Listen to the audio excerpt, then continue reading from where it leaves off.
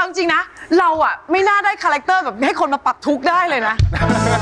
แต่แต่จริงๆซีเรียสอ๋อเหรอเป็นเพื่อน เออเป็นเพื่อนแต่ก็จริงๆก็สนุกสนานแหละแต่เวลาแบบมีเรื่องมีราวก็จะคอยช่วยเหลือ แล้วต้องมาเจอกับแก๊งเขาไหม เขาเจออ๋อเจอเจอที่เขามาแก้ผ้าหน้าบ้านนางเอกเลย ใช่ ฉากไหนมันไม่เรียกวะ นี่เขาไปเปิดหน้าบ้านนางเอกเลย อ๋อเหรอไปโชว์ เออโชว์เลยอ๋อผ้าหลุดผ้าอะไร เขาหุ่นเขาดีเขาถอดเสื้อในเรื่องอะนี่ลองเช็คดู อันนี้อยู่นี่อยู่นี่อยู่นี่อยู่อ๋อนี่ โอเคเรามองต่ำเรามองต่ำเออหุ่น แล้วเดี๋ยวคุยกันยาวๆแต่ขอเก้าอี้หน่อยได้ไหมคะ ครับ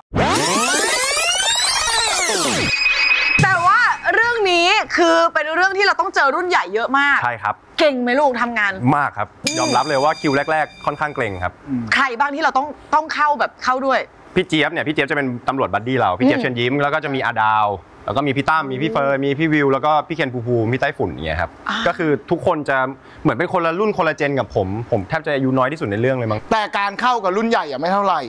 นี่เขาเขินนางเอกนะคุณวิวอะเหรอ เขินพี่วิววรรณรส มันก็ไม่ได้ถึงขนาดแบบ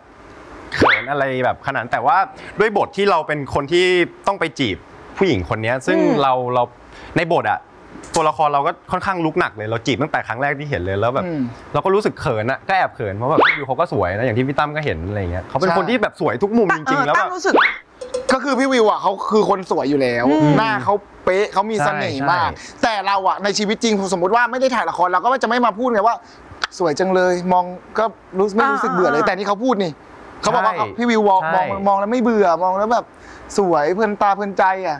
คือแล้วในบทมันก็ต้องชมเขาตลอดเวลาด้วยอะไรอย่างเงี้ยอืม เหมือนต้องแสดงออกชัดเจน ใช่ อาจจะติดมาแล้วก็ต้องรู้สึกใช่กับสิ่งนั้นด้วย ใช่ เพื่อเวลาไปเข้าฉากจะได้ง่าย แปลว่าหน้าตาแบบคุณวิวคือสเปคคุณ ไม่ไม่ไม่ได้เชิงสเปคหรอกมั้งอ้าวเหรอ คือผมอะผมแทบจะไม่มีไม่มีสเปคแบบตายตัวด้วยซ้ำอะครับไปเรื่อยเหมือนเหมือนพี่ชายคุณเหรอไม่ไม่เลื่อยเท่านี้ผมว่าผมไม่เลื่อยเท่านี้ ใช่ใช่เดี๋ยวนี้คุณพี่ชาย แต่ ว่าในกองเนี่ยต้องบอกเลยว่า มีคนคนหนึ่งที่เขาจะมีความสุขตลอดเวลาเวลาเขาเข้ากองนั่นก็คือคุณเคนภูมิภูมิ คือไม่ไม่ได้เชิงว่าความสุขแบบขนาดนั้นนะ เออ แต่ว่าเวลาเข้าฉากแล้วมีพี่ตั้มเนี่ยแล้วยิ่งกับพี่เฟิร์นอีกเขาเขาเหมือนเขาแพ้ทางพี่ตั้มมากกว่าคุณเคนภูมิภูมิชอบคุณเหรอเนี่ยไม่พี่คำว่าแพ้ทางกับชอบมันไม่ได้ไปด้วยกัอ๋นอนะพี่ แพ้ทางกับชอบมันไม่เหมือนกันใช่ไหมลูกต้องแยกอะเขาเขาเจอเราเขาชอบทำเพราะอะไรคุณทำอะไร ม่จริงๆผมไม่ได้ทำอะไรเลยนะ จริงๆบางทีแบบเดินเข้าฉากเนี้ย อ่านบทแค่อ่านบทกับพี่เฟิร์นเนี่ยอืมเขาขำแล้วนะอืมเออเขาอยู่ดีก็ขำและขำแบบไม่ได้ขำว่าแบบไหลโยกเลยอะขำละขหรอำขำต้องรับหน้า ต้องไม่เอากว้าง ต้องไปรับหน้าเจาะฝั่งนู้นเอา เพราะว่าเดี๋ยวเคนจะหลุด แล้วก็คือทีนี้ก็เลยต้องผ่านไหล่พระเอก ขนาดนั้นเลยทีนี้ไหล่ใช่ทีนี้ไหล่ก็ไม่ได้ไง มันโยก เพราะว่าอะไรยกหัวเราะแบบขนาดนั้นเลย หัวเราะเหมือนพี่ตุ๊กกี้แบบเนี้ย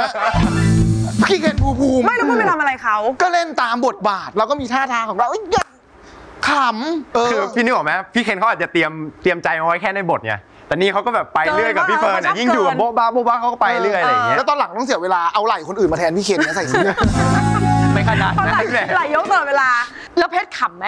ตอนจคือเราก็ขำขำตอนที่เขาซ้อมก็ขำจนเสร็จแล้วแต่แต่แต่เล่น แต่พอแต่พอเราต้องเล่นเราก็มีโฟกัสแล้วเราเราก็ต้องรู้ทำอะว่ถ้าเขาจะมาทางไหนแล้วครับ ถ้าเขาเลื้อยเขาก็คงแบบไปแค่มุกสองมุกแล้วก็หยุดแหละอะไรอย่างเงี้ย แต่ว่าเรื่องนี้สนุกแน่นอน แต่ละคนก็จะมี character ของตัวเอง ใช่ครับอย่างเนี้ยเขาก็มีอย่างคุณก็ตามจีบใช่ตามรุกครับ นางเอกตลอด